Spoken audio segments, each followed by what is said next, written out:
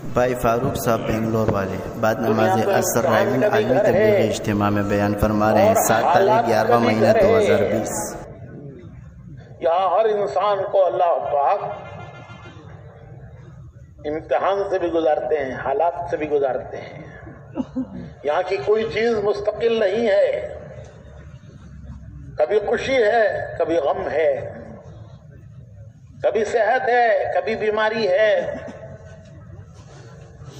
कभी गर्मी है, कभी सर्दी है, कभी दिन है, कभी रात है, कभी बचपन है, कभी लड़कपन है, कभी जवानी है, फिर मौत है। यहाँ का कोई हाल हमेशा के लिए नहीं है। और यहाँ का हर आदमी हमेशा एक हाल में नहीं रहता। वो हालात से भी गुजरता है। और अल्लाह ताला हालात से गुजार कर, मुख्तलिफ़ हालात से गुजार कर अल्लाह ताला हर एक का इम्तिहान लेते हैं। अपनों का भी इम्तिहान लेते हैं, गैरों का भी लेते हैं। ऐसा नहीं है कि सिर्फ़ गुनाहगारों का इम्तिहान है। नेकों का भी इम्तिहान लेते हैं, गुनाहगारों का भी इम्तिहान लेते हैं। नबियों का इम्तिहान लिया। हालाँकि अम्बिया इस्लाम तमाम इंसानों में सबसे अफजल। उन्हें भी इम्तिहानों से गुजारा। और नबियों में हुजूर अक्रम वसल्लम सबसे आला। हजूर फरमाते हैं कि सबसे ज़्यादा मुश्किलें और तकलीफें नबियों पर आई। और नबियों में सबसे ज़्यादा मुश्किलें हज़रत इब्राहिम अलैहिस्सलाम अल्लाह के खलील हैं। उनको अल्लाह ने अपना दोस्त पुकारा कि ज़मीन पर मेरा दोस्त इब्राहिम। फरिश्तों से कहते हैं, ज़मीन पर मेरा दोस्त इब्राहिम है। लेकिन दोस्त को भी इम्तिहानों से गुजारा। वही बतला इब्राहिम बिकलिमातिन फातम्महुन। हमने इब्राहिम को आजमाया, इम्तिहानात से गुजारा। अयूब अलैहिस्सलाम बड़े नबी हैं। सब्र अयूबी मशहूर मुहावरा है। सब्र अयूबी। उनको भी इम्तिहानों से गुजारा। अयूब अलैहिस्सलाम को बीमारियों से गुजारा अल्लाह ने। और ऐसी बीमारियाँ आई कि वो गाँव छोड़कर, आबादी छोड़कर, बस्ती छोड़कर एक पहाड़ के गार में रहने लगे। उनका क्वारंटाइन था, क्वारंटाइन। अयूब सलाम का क्वारंटाइन पहाड़ का गार आबादी से हटकर। एक बीवी साथ थी, बाकी सबने साथ छोड़ दिया। हालात अच्छे होते हैं, सब साथ देते हैं। हालात बिगड़ते हैं तो सब साथ छोड़ देते हैं। बच्चों ने भी साथ छोड़ दिया। एक बीवी थी जो उनकी खिदमत करती थी। वो गार में रहे वो उनका क्वारंटाइन था। जब तकलीफ़ बढ़ी, बढ़ती गई तकलीफ़ तो सब्र अयूबी तो सब्र का प्याला भर गया, छिलक गया। हज़रत ने फिर दुआ मांगी। कुरान करीम में वो दुआ है। अयूब अलैहिस्सलाम की दुआ, रब्बी अन्नी मस्सनी अल-दुर्र व अंत अरहमुर राहिमीन। ए मेरे रब, इस बीमारी से मुझे बहुत तकलीफ़ हो रही है। मुझे बहुत तकलीफ़ पहुँची है इस बीमारी से। और तो अरहम राहिमीन, सब रहम करने वालों से बड़ा रहम करने वाला है। ये, ये दुआ है। दुआ है अयूबी कुरान करीम में। है तो अल्लाह ताला ने उनके लिए एक चश्मा निकाला। और फरमाया इस चश्मे में नहाओ। जब उन्होंने उस चश्मे में नहाया तो सब बीमारियाँ दूर हो गई। वो चश्मा आज भी है। जब हम गए हमने देखा सब लोग पानी पी रहे हैं। हमने भी उस चश्मे का पानी पिया। तुर्की में है। शाम की सरहद पर। ऐसा ठंडा मीठा पानी कि ये सारे बॉटल के पानी झक मारते हैं। ऐसे ठंडा मीठा पानी। लोग क्या नाम में भर के ले जाते हैं बीमारों को नहलाते हैं। तो नबियों को भी आजमाया यूसुफ सलाम तयूब पर बीमारियों की आजमाइश आई। यूसुफ सलाम बड़े नबी हैं। उनकी हुजूर ने तारीफ़ की। करीम इब्ने करीम इब्ने करीम इब्ने करीम। यूसुफ इब्ने याकूब, इब्ने इसहाक, इब्ने इब्राहिम। ये हुजूर ने तारीफ़ की उनकी। करीम इब्ने करीम इब्ने करीम इब्ने करीम, यूसुफ इब्ने याकूब, इब्ने इसहाक, इब्ने इब्राहिम। लेकिन उन्होंने भी आजमाया। बेवतन किया, बेवतन। मैं पूरे किस्से की तफसीर में नहीं जाता, थोड़ा वक्त है। तो भाइयों ने बाप से कहा कि इनको हम तफरी के लिए ले जाते हैं, शिकार के लिए। जरा दिल बहलेगा। याकूब सलाम कहने लगे, मुझे इतमान नहीं है तुम्हारे ऊपर। लेकिन वो बहुत तसलियाँ दे के ले गए। और उनको एक कुएँ के एक दांत में रख दिया, बड़े कुएँ में। और वापस आके कहने लगे आपको सलाम से कि हम शिकार के पीछे दौड़े और ये पीछे रह गए सामान के पास। जब हमें से कोई नहीं था तो एक भेड़िया आया, उसने इनको फाड़ डाला। और आप यकीन नहीं करेंगे, क्योंकि पहले से आपको हमारी बात पर शक है। तो ये देखिए कुर्ता उनका। उस पर खून लगा हुआ है, उनका खून। तो याकूब सलाम कहने लगे, फसब्रुन जमी फसब्रुन जमी तसीम और फरमाने लगे कि वो भेड़िया बड़ा समझदार मालूम होता है कि उसने उनका कुर्ता उतार कर रखकर उनको फाड़ा।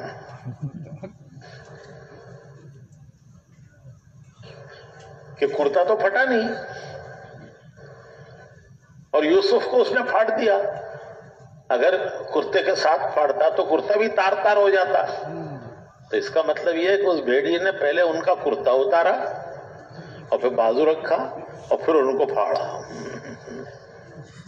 मैं तुम्हारी सब मकारियाँ जानता हूँ। मुझे बातें न बनाओ, मैं तुम्हारी मकारियाँ खूब जानता हूँ। लेकिन मुझे तुमसे कोई शिकायत नहीं। मैं अपनी शिकायत अपने अल्लाह से करता हूँ।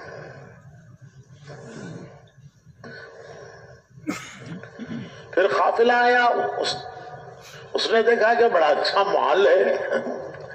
तो भाइयों ने बेवतन किया काफिले वालों ने मिस्र में बेचकर माल कमाया। तो घर भाई वो बेवतन करना चाहते थे।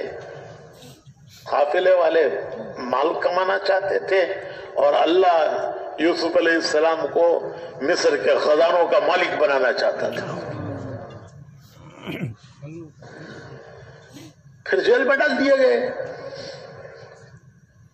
जेल में यूसुफ सलाम ने दस साल गुजारे हैं, दस साल। मिस्र की जेल मशहूर है, सख्त जेल है। वहाँ उन्होंने दस साल गुजारे। कुछ पता नहीं इनका केस कब लिया जाएगा। कोई तारीख नहीं, सुनवाई की। कि किस तारीख को केस पेश होगा? कोई हियरिंग की डेट नहीं। पड़े हैं, जेल में पड़े हैं, दिन गुजर रहे हैं, महीने गुजर रहे हैं, साल गुजर रहे हैं। ये भी पता नहीं कि केस लिया जाएगा नहीं लिया जाएगा, कब लिया जाएगा, किस तारीख को लिया जाएगा। एक अजनबी है। बाहर का आदमी है, मुल्क शाम के रहने वाले थे ये। पढ़े हैं, कोई इनका वाली वारिस नहीं है, कोई इनका हामी नहीं है, कोई इनका साथ देने वाला नहीं है, पड़े हैं जेल लेकिन वहाँ भी वो अपना काम कर रहे हैं।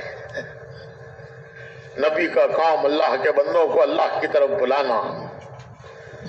और हजूर अकरम वसल्लम की बरकत से हजूर की उम्मत का भी वही काम अल्लाह के बंदों को अल्लाह की तरफ़ बुलाना। तो जेल में भी यूसुफ अलैहिस्सलाम वही काम कर रहे हैं। अच्छा जेल में कैसे काम करेंगे? माइक लगा के मजमा जमा करके बयान करेंगे? अरे माइक वहाँ कहाँ गुंजाइश होती है कि सबको जमा करो और बयान करो? फिर कैसे काम करते थे? एक एक को समझाते थे। एक एक को समझाते थे कि देखो, एक अल्लाह जो जमीनों और आसमानों का पैदा करने वाला है जो जमीनों आसमानों का मालिक है, जो हमारा पैदा करने वाला है, हमारा मालिक है, हमें रोजी देता है। उस एक अल्लाह को मानना वो बेहतर है, या कई खुदाओं की पूजा करना बेहतर है? बोलो, तुम्हारा दिल क्या बोलता है? दिल क्या बोलता है? दिल जो है, वो बड़ा ईमानदार है। अकलैयार है। दिल ईमानदार है। तो ने लिखा है कि दिल अरशी है। दिल का ताल्लुक ऊपर से है और बदन फर्शी है, जिसम का ताल्लुक फर्शी, ज़मीन से है। मिट्टी में मिल जाएगा और दिल वो अर्शी है उसका कनेक्शन ऊपर से है अर्शी तो यूसुफ अपना काम कर रहे हैं। दिन नहीं गिन रहे हैं। हमारे बुज़ुर्गों में एक हज़रत खारी तयीब साहब रहमत थे। तो अक्सर लोग जानते हैं बड़े बुज़ुर्गों में थे। अच्छा उसी जमाने के एक बड़े बुज़ुर्ग थे, शेखुल इस्लाम हज़रत सैयद हुसैन अहमद मदनी रहमत हज़रत मदनी। तो हज़रत मदनी अंग्रेज़ों का जमाना था और अक्सर उनको जेल में डाल दिया जाता था, हज़रत मदनी को। मुख्तलिफ़ इल्ज़ाम में जेल में पकड़ पकड़ के डाल दिया जाता था। तो एक मरतबा हज़रत खारी तय्यब साहब रहमत हज़रत मदनी से मिलने गए जेल में। तो पूछा कि हज़रत जेल में क्या मशगला है? दिन कैसे गुजरते हैं? क्या मशगला है? तो हज़रत मदनी रहमत फरमाने लगे कि भाई कैदियों को तालीम इस्लाम पढ़ाता हूँ। नमाज़ पढ़ाता हूँ, कुरान सिखाता हूँ, ये तालीम इस्लाम है। तालीम इस्लाम मसाइल की किताब है, अकायद की मसाइल की। मैं ये पढ़ाता हूँ इन कैदियों को। तो हज़रत कारी तयीब साहब मजाहन कहने लगे कि हज़रत, बड़ी तरक्की हो गई। कहाँ बुखारी शरीफ पढ़ाते थे देवबंद में और कहाँ जेल में तालिब इस्लाम पढ़ा रहे बुखारी शरीफ हदीस की सबसे ऊँची किताब। और यहाँ जो है वो तालिब इस्लाम पढ़ा रहे जो बच्चों को पढ़ाते हैं। तो बड़ी तरक्की हो गई। तो फरमाया कि भाई वहाँ बुखारी पढ़ने वाले थे, वहाँ उनको बुखारी पढ़ाता था। या तालीम इस्लाम पढ़ने वाले हैं, उनको तालीम इस्लाम पढ़ाता हूँ। तो यूसुफ अपने काम में लगे रहे। और वही उनके वहाँ से निकलने का ज़रिया बना। दो कैदियों ने ख्वाब देखा। ख्वाब की ताबीर समझ में नहीं आई। किससे पूछे? अरे चलो, वो जो बुज़ुर्ग है ना, उनकी बुजुर्गी के मुतद हो गए थे, सब जेल वाले, सब जेल वाले बहुत हो गए थे। उनकी ज़िंदगी ऐसी थी। फरिश्ते थे। तो कैदियों ने कहा कि चलो, वो जो बुज़ुर्ग है ना, उनसे पूछेंगे। उन्होंने आकर हज़रत यूसुफ से खाब की ताबीर पूछी। यूसुफ ने फरमाया कि, कि मैं बताऊँगा तुम्हें? मैं जानता हूँ। अल्लाह ने मुझे ताबीर का इल्म दिया है मैं बताऊँगा तुम्हें। लेकिन उससे पहले एक बात सुनो। ये बताओ कि एक अल्लाह वहदहुला शरीक उसकी इबादत करना उसे मानना वो बेहतर है। या सैकड़ों से उम्मीदें लगाना और सैकड़ों से अपनी हाजतें मांगना बोलो क्या बेहतर है? क्या बोलता है? तुम्हारा दिल क्या बोलता है? फिर ताबीर बताई। ताबीर पूरी हो गई। एक कैदी जो छूटा, एक को तो सूली हो गई, दूसरा जो छूटा, वो बादशाह की खिदमत पर मामूर हुआ। एक दिन बादशाह ने ख्वाब देखा। उसने बड़ा परेशान कुन ख्वाब। अब मैं तफसील नहीं बचाता उसने पूरे दरबार में अपना ख्वाब सुनाया कि देखो ये मैंने ऐसा ख्वाब देखा है। बताओ, क्या ताबीर है इसकी? पूरा दरबार ताबीर नहीं बता सका। हालाँकि दरबार में बड़े बड़े समझदार लोग होते थे। बादशाहों के दरबार में समझदार लोग होते थे। भी, समझदार भी। लेकिन दरबार में कोई ताबीर ना बता सका। उस कैदी को ख्याल आया जो बादशाह की खिदमत पर मामूर हुआ था कि वो वो जो जेल जेल में एक बुज़ुर्ग है ना। अरे उन्होंने हमको ताबीर बताई थी वो ताबीर पूरी निकली थी। तो उसने कहा कि बादशाह जेल में एक एक बुज़ुर्ग है। फरिश्ते की तरह है फरिश्ता है फरिश्ता। उन्होंने हमें ताबीर बताई वो पूरी निकली। वो आपके ख्वाब की ताबीर बता सकते हैं। बादशाह ने कहा फ़ौरन लाओ। यूसुफ अलैहिस्सलाम बुलाए गए। और उन्होंने ताबीर बताई कि सात साल ज़बरदस्त फ़सल होगी और अगले सात साल कहत पड़ेगा। पहले सात साल ज़बरदस्त फ़सल, अगले सात साल कहत। तो पहले सात साल की जो फ़सल होगी, उसमें से थोड़ी थोड़ी इस्तेमाल करो जितनी ज़रूरत है और उसे बालियों में रख पूरी निकाल लोगे, खराब हो जाएगी। बालियों में रखो थोड़ी थोड़ी करके निकालो, इस्तेमाल करो। फिर अगले सात साल जो कहत के आएँगे इस सात साल का अनाज वो अगले सात साल इस्तेमाल करो। और फिर उसके बाद बोने के लिए भी बीज रहने चाहिए बाकी तुम्हारे पास। और तरकीब भी बताइए कि बालियों में रखो थोड़ा थोड़ा इस्तेमाल करो। जितनी ज़रूरत है उतना उतना निकालो। बादशाह कहने लगा कि ये सारा दर्द सर मेरे बस का नहीं है। सात साल बचाओ, फिर सात साल खर्च करो। और उसकी ये तरकीब है, ये सब दर्द सर मेरे बस का नहीं है। लो, तुम ही संभालो। तुम ही संभालो। तुम जानते हो, तुम संभालो। तो मिस्र के तख्त पे बिठा दिए गए तो सात साल जैसे इन्होंने ताबीर बताई, ऐसे ही सात साल फ़सलें बड़ी ज़बरदस्त आई। सात साल कहत क्या है? उसमें उन्होंने ऐसा इंतज़ाम किया, यूसुफ अलैहिस्सलाम ने, कि सारे अरब में कहत था, लेकिन मिस्र में अनाज मिलता था। और सारे अरब से लोग आकर मिस्र से अनाज ले जाते थे। तो इनके घर पर भी कहत पड़ा जहाँ इनके भाई, दस भाई और याकूब सलाम ये रहते थे, उन पर भी कैद पड़ा। ग्यारह भाई। तो याकूब सलाम ने अपने बेटों से कहा कि, बेटो, जाओ, सुना है सुना है कि मिस्र में अनाज मिलता है। वहाँ से जाकर अनाज लाओ। और अनाज लाने के लिए घर में कोई रकम भी नहीं है, कोई पैसा नहीं है। सारा सब कुछ जो था वो खा गए। जानवर भी खा गए, गाय, बैल, बकरियाँ, सब वो भी खा गए। अब कुछ है नहीं कि जाके वहाँ बेचकर उससे अनाज खरीदे। तो घर में जो कुछ था, बर्तन थे, जो था वो सब समेट कर भाई लेकर आए। वो यूसुफ सलाम के दरबार में आए। अनाज यूसुफ सलाम के ऑर्डर से मिलता था। जिस जितना यूसुफ सलाम पूछते थे, कितने हैं तुम्हारे घर में आदमी? उस हिसाब से उनको अनाज दे देते कि इनको एक साल का अनाज दो।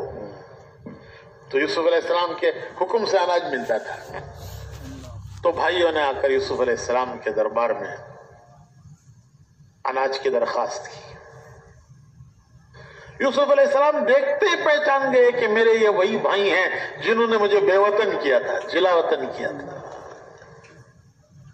बाप से, माँ वालिदैन से और भाइयों से दूर किया था। और फिर मुझे बेचा था।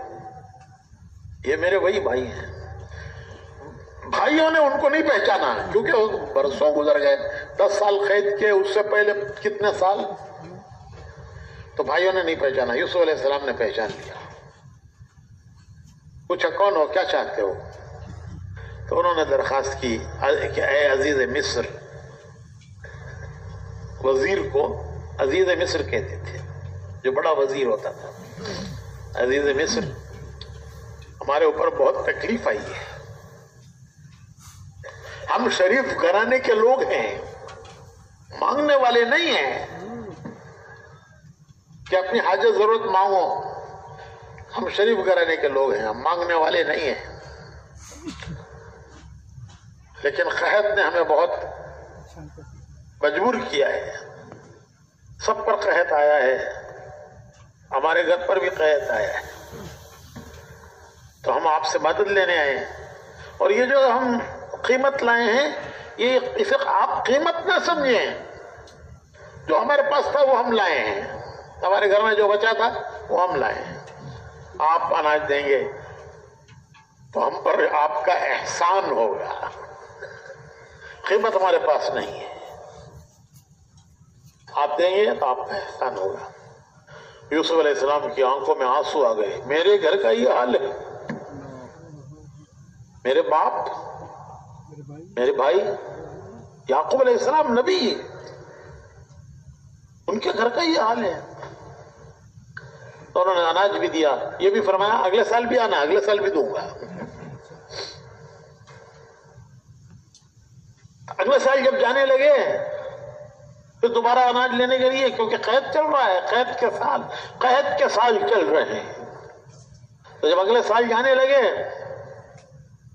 तो युस तो याकूब सलाम कहते हैं कि, मेरे बेटो, मिस्र में यूसुफ को तलाश करना। मेरे बेटो, यूसुफ को मिस्र में यूसुफ को तलाश करना। तो बेटे कहने लगे कि बुढ़ापे में यही हाल होता है। ये बुढ़ापे का हाल है। यूसुफ यूसुफ यूसुफ यूसुफ कहते कहते उसकी याद में रोते रोते आँखों की बिनाई चली गई और अब भी कहते हैं यूसुफ को तलाश करो मिस्र में जाके। अरे कहाँ का यूसुफ? हाँ, बीस साल हो गए। हाँ, पता नहीं ज़िंदा भी है कि मर गया है तो कहाँ है दुनिया में? तो मिस्र में जाके कहाँ ढूंढेंगे यूसुफ को? तो याकुल सलाम कहते हैं बेटा बेटो मैं अल्लाह की रहमत से मायूस नहीं हूँ। मैं अल्लाह की रहमत से मायूस नहीं हूँ। मेरा अल्लाह मुझे मेरे यूसुफ से मिलना नसीब करेगा। मुझे मेरे यूसुफ से अल्लाह मिलाएगा। तो ने लिखा है कि मोमिन कभी मायूस नहीं होता। क्यों? कि उसे अपने अल्लाह पर ईमान है? आन की आम में अल्लाह वो हालात बदल सकता है। हालात आए हैं, किसी हिकमत से अल्लाह की। कोई अल्लाह की हिकमत है। हम नहीं जानते उसकी हिकमतों को। अल्लाह अपनी हिकमत से हालात लाया है। वो अपनी कुदरत से बदलेगा। वो अपनी हिकमत से हालात लाया है, वो अपनी कुदरत से हालात बदलेगा। दुनिया की कोई ताकत रात को दिन से बदल नहीं सकती। रात आ जाए, कोई ताकत दुनिया के दिन नहीं ला सकती। वो अपने वक्त पर अल्लाह दिन लाएगा। दिन के गुजरने को कोई रोक नहीं सकता। अपने वक्त पर अल्लाह रात लाएगा। ये अल्लाह का निज़ाम है। तो मोमिन कभी अल्लाह की रहमत से मायूस नहीं होता। मौलाना इलियास साहब रहमत फरमाते थे कि मायूसी कुफ्र है। सब के मलफूजात हैं? मायूसी कुफ्र है क्योंकि अल्लाह पर ईमान ले आने वाला, वो कैसे मायूस हो सकता है? मेरा अल्लाह बड़ी कुदरत वाला है। आन की आन में हालात बदल सकता है। तो उससे कैसे मायूस होंगे? मोमिन की ये शान ही नहीं है कि वो मायूस हो। वह हर वक्त अल्लाह से पुरुमीद रहे पुरुमीद रहे। और अपने काम में लगा रहे अल्लाह से पुरुमीद रहे अपने काम में लगा रहे हालात आते हैं कदमों में लफ्जिश आ जाती है। डगमगा जाते हैं कलम, कदम।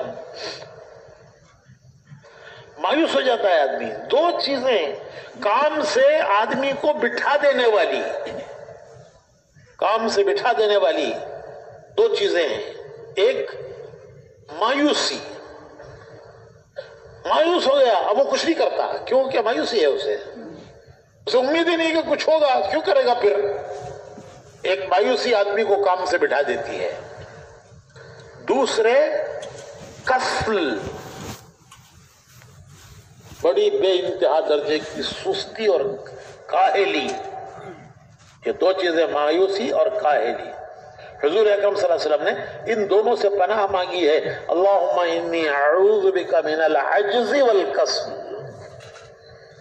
मायूसी से भी पनाह मांगी है, कसल। सुस्ती से भी पनाह मांगी है। तो अल्लाह ताला जो कुछ हमसे हुआ, उसे माफ़ फरमाए। और आइंदा के लिए हमें अपने काम पर जमना नसीब फरमाए। अल्लाह ने अपने कर्म से एक रास्ता दिया है। अल्लाह ने अपने कर्म से हमें एक रास्ते पर डाला है। दुनिया परेशान है, मायूस है, मुस्तकबिल से मायूस है, आने वाले जमाने से मायूस है, दुनिया मायूस है, लेकिन मोमिन, वो भी मायूस हो जाए तो फिर दुनिया को राह कौन दिखाएगा? दुनिया को सही राह कौन दिखाएगा? बेशक दुनिया मायूस है, छोटे बड़े सब मायूस है। परेशान है, परेशान। हमारे डॉक्टर साहब कहने लगे, इस वक्त सबसे ज़्यादा जो धंधा चल रहा है, धंधा, वो साइकियाट्रिक्स का चल रहा है। साइकियाट्रिक्स जो तमामी बीमारी के डॉक्टर होते हैं। सबसे ज़्यादा उनका धंधा चल रहा है। लेकिन उनके पास लगी है लोगों की। क्यों? कि रात को नींद नहीं आती परेशान परेशान, दिल परेशान, दिमाग परेशान। तो साइकेट्रिक्स जो होते हैं डॉक्टर कहते सबसे ज़्यादा पेशेंट उनके पास है। सब है। गरीब है, अमीर है, जवान है, बूढ़े सब है। तो ये दुनिया इस वक्त हैरान है। राह नहीं मिल रही है, परेशान है। मोमिन को इत्मीनान है कि हालात किसने कौन लाया है? और कौन दूर करेगा? बस। ना लाना मेरे बस पे है ना उनको दूर करना मेरे बस पे है। हाँ जो एहतियात है वो मैं करूँगा। तो अल्लाह ने हमें एक रास्ते पर डाला है। बस मैं एक किस्सा के, के, के, के खत्म करता हूँ। शेख सादी रहमत बड़े बुज़ुर्गों में गुजरे हैं शेख सादी रहमत शादी शिराजी। वो शिराज से चले इल्म हासिल करने बगदाद उनके वाकयात में लिखा है कि शिराज से इल्म हासिल करने के लिए बगदाद चले। वो, वो जमाना बगदाद मरकज था। चीज़ का मरकज बगदाद इल्म का दीन का, दुनिया का, खुलफा बनु अब्बासिया का, दारुल खिलाफा बगदाद मशाइ तो शेख सादी, इल्म हासिल करने के लिए बगदाद चले। गरीब आदमी थे, कोई सवारी नहीं थी उनके पास। उस जमाने की सवारियाँ, घोड़ा, ऊँट तो कोई सवारी नहीं थी। तो पैदल पैदल चल पड़े, पैदल जमात। चलते चलते शिराज से बगदाद काफ़ी लंबा रास्ता है, ज़मीन पथरेली तो चलते चलते उनके जूते टूट गए। जब जूता टूट गए तो उन जूतों को संभाल कर चलना मुश्किल हो गया। तो उन्होंने वो जूते निकाल के फेंक दिए। और अब नंगे पैर चले। जिस ज़मीन पर जूते फट गए हो उस पर पैरों का क्या हाल हुआ होगा? थोड़ी देर में पैर जख्मी हो गए। आबिले आ गए चलना भारी हो गया। तो वो रास्ते से हटकर एक किनारे बैठ गए। और रोने लगे। रिक्कत उन पर तारी हो गई। और रोने लगे कि अल्लाह, मेरे पास अगर सवारी होती तो मैं अब तक बगदाद पहुँच गया होता। और बगदाद पहुँच के क्या करते? माल कमाते। क्या करते भाई? कुरान, हदीस सीखते। तो मेरे पास तो सवारी भी नहीं है। मेरे तो जूते भी टूट गए, मेरे तो पाँव भी चलने के काबिल नहीं रहे। अल्लाह, अगर सवारी होती तब तक पहुँच गया होता। रिक्कत तारी हुई उन पर। और बहुत रोए। बाज मरतबा किसी वजह से भी आदमी पर एक रिक्कत तारी होती है। और वो एक मौका होता है अल्लाह से करीब होने का। वो कैफियत उसे अल्लाह से करीब करती है।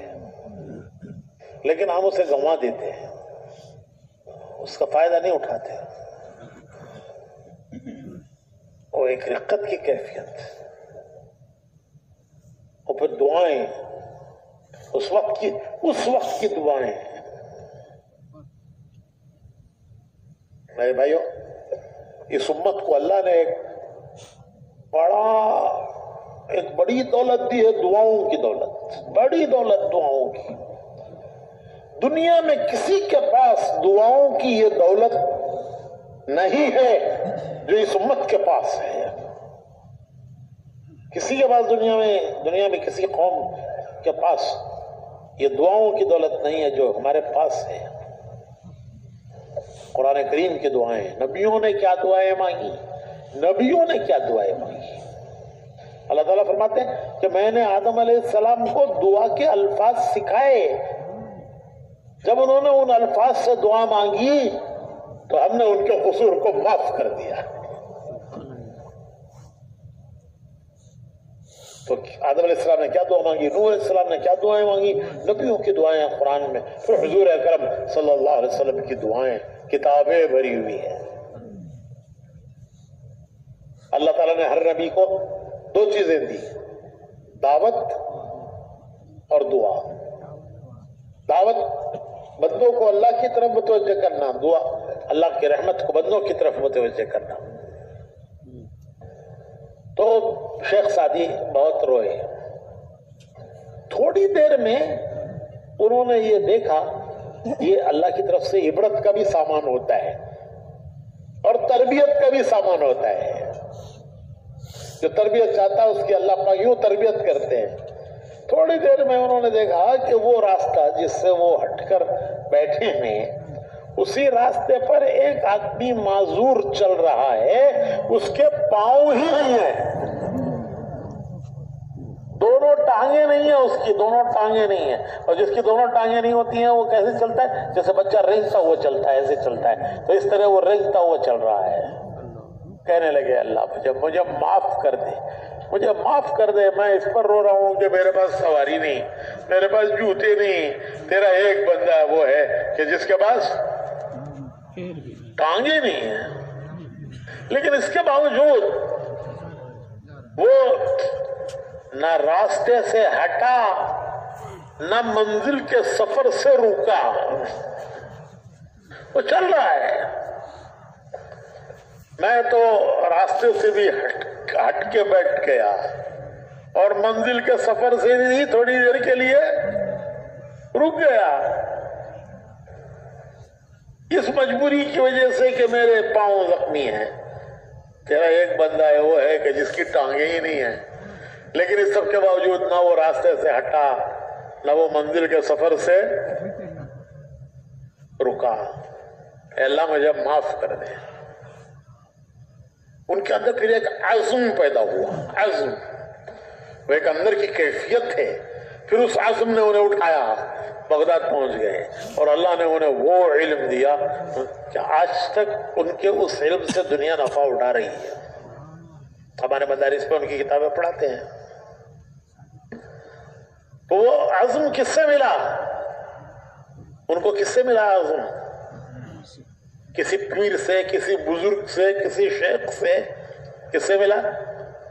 एक माजूर से। कि अल्लाह तेरा एक माजूर बंदा, अपनी माजूरी के बावजूद वो रास्ते से हटा नहीं, मंजिल के सफ़र से रुका नहीं। बस भाइयों, मेरी भी आखिरी गुजारिश यही है कि हम भी नियत करें। अल्लाह ने हमें एक रास्ते पर डाला है। हम नहीं आए हैं, हमें अल्लाह ने भेजा है। ये रास्ता अल्लाह ने हमें अता फरमाया है। हमें एक रास्ते पर डाला है। अल्लाह ने हमें एक रास्ते पर डाला है। रास्ते से हटना नहीं, मंजिल के सफ़र से रुकना नहीं। रास्ते से रास्ते से हटना नहीं। मंजिल के सफ़र से रुकना नहीं। हालात आए शख्स शादी पे, लेकिन ये आज़म मिला उनको। आज़म मिला कि हालात से घबरा कर रास्ते से हटना नहीं मंजिल के सफ़र से बदो बात है। रास्ते से? रास्ते से। मंजिल के सफ़र से? अब वो क्या करना है वही असर के जोहर के बाद भी मौलाना इस्माइल साहब ने तफसील से बताया। घर घर की मुलाकातें गश्तें अरे बड़ी बड़ी जमात बना के नहीं कर सकते। दो दो आदमी जाओ वो मुलाकातें हैं। और आइंदा भी बातें आएँगी। अल्लाह हमें अमल की तौफीक अता फरमाए। सुभान अल्लाह सुभान अल्लाह